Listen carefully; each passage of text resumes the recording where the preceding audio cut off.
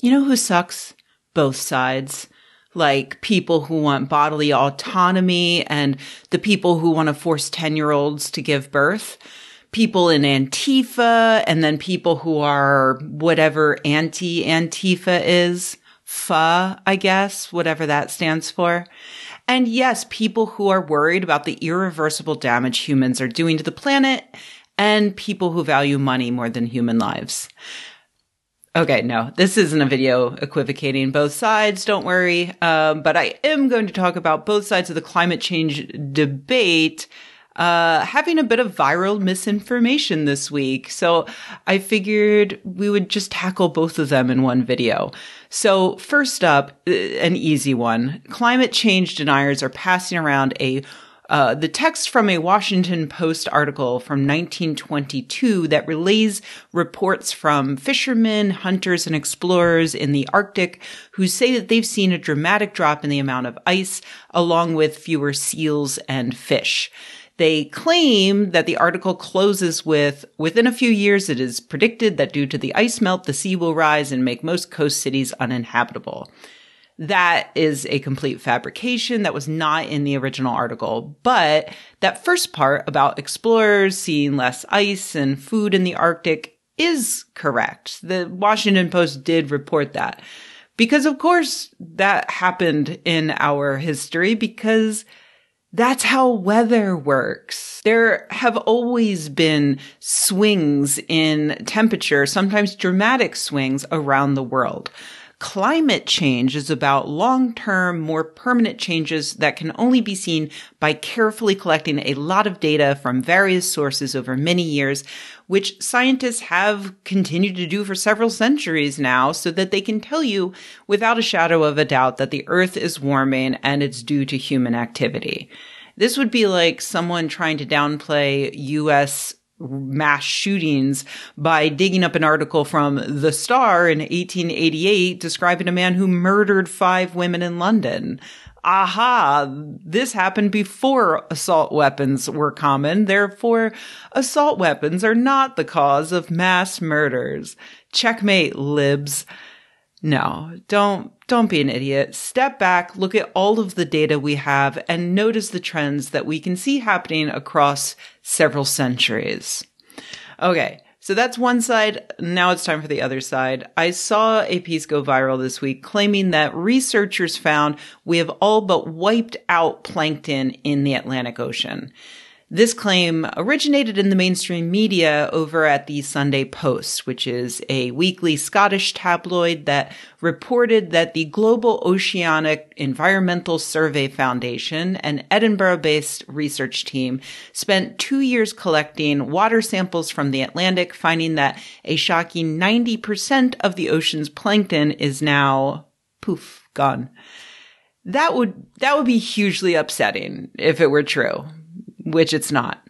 Uh, because plankton truly is like the backbone of our planet in a way. Literally every other breath you take is thanks to plankton. Phytoplankton is the collection of microscopic bits of algae and bacteria and other random thingies that not only produce 50% of the Earth's oxygen, but also provide the food source for slightly bigger kinds of zooplankton like krill, which then provide the food source for way bigger things like whales, which then provide the food source for human dickheads.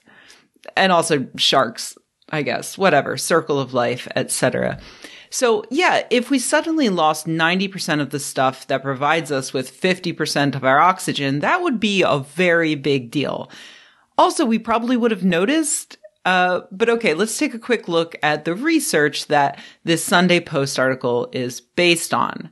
So let's see, they cite the Global Oceanic Environmental Survey Foundation and they link just to their website. And from there, we can find a link to the report in question titled Climate Change. Have we got it all wrong? Which was published in the journal Nothing. Nowhere. It's not been published anywhere, meaning it's not been peer reviewed. And this entire thing could at best be called a preprint, though I think the word preprint suggests that it might be printed somewhere in the future, which I can't imagine is true because this paper also includes zero information about how or where they conducted their sampling and what exactly led them to state that losses closer to 90% have occurred. And these are due to chemical pollution from, for example, wastewater and not climate change. They do on their website feature a citizen science project, which appears to be their entire thing, in which they suggest that if you own a yacht, they'll uh, they'll give you a, a, special filter, and then you can buy a microscope. They include some Amazon links. And then you can go scoop up some water in the ocean somewhere, look at it in a microscope, and then tell them how many planktons you see. Also, they include some really helpful advice, like just try not to take the samples while you're wearing your fleece because it sheds many plastic particles. Probably not a good idea wearing a fleece in any case because you will be breathing in plastic from your clothes.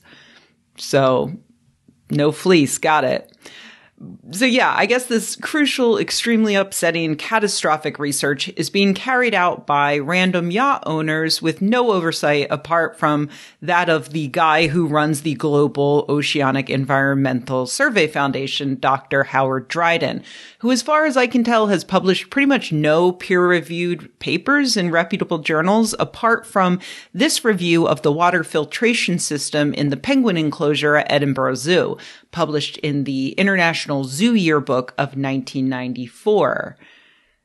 Reputable journal, I think. Uh, so now a word about Howard Dryden. In addition to being the face of the Global Oceanic Environmental Survey Foundation, his About page reports that he is also responsible for several products and companies related to filtering plastics and chemicals out of the water, like Dryden Aqua filtration systems.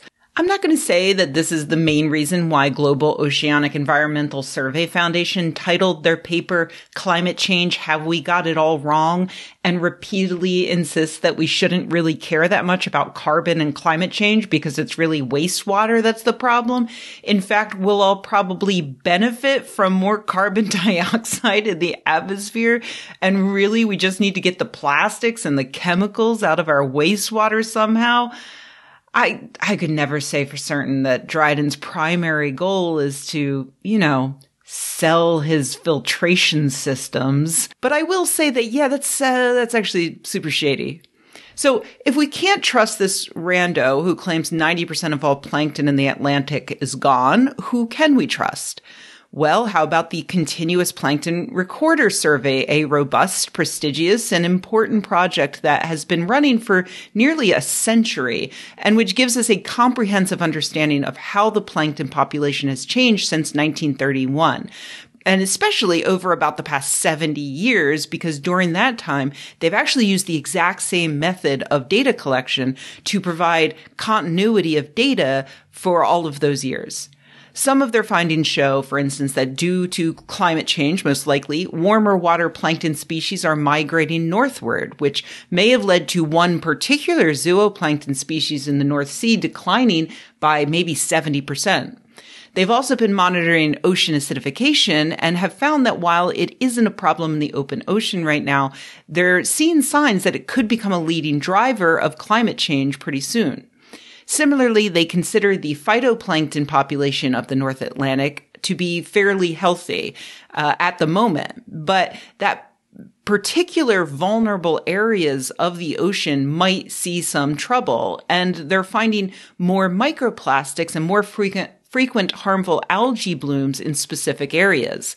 And a big takeaway seems to be that the researchers, careful researchers like these, don't tend to make sweeping generalizations about what is happening to plankton in the Atlantic Ocean because plankton encompasses a lot of different species and the Atlantic Ocean comprises a huge swath of our planet. So you can't really make a generalization about what is happening with plankton in the Atlantic Ocean. You have to look at specific areas where change is occurring. Now you might think that Dryden and the Sunday Post piece are not a big deal because if they're wrong, at least they might spur people to go in the right direction toward caring more about what is happening to our oceans. But falsely saying that 90% of plankton is just gone isn't necessarily going to make people care more so much as it is going to make people throw their hands in the air and give up. Like, there's no coming back from that, right? Like, goodbye planet Earth, goodbye humanity. Additionally, this is just absolutely perfect fodder for climate change deniers on the one hand, you have a scientist pushing the narrative that it's not really about carbon and human caused global warming. We just need to worry about plastic and nebulous chemicals draining into the ocean. On the other hand, you have a really easily debunked lie that deniers can point to and say, see, these people uh, want to make you care about stuff uh, by just making things up. So you can't really believe anything they say. So I hope this video helps in a couple of ways. One, I hope that if you saw that article and panicked that we're all doomed, you know that it's not true. You can kind of relax. And uh, the other thing is, I hope that if you see this particular bit of doomerism popping up on your social media feed, uh, that you can now rebut it or at least don't spread it around because these sort of lies don't really help anybody except for wa- water filtration corporations, I guess. Might help them.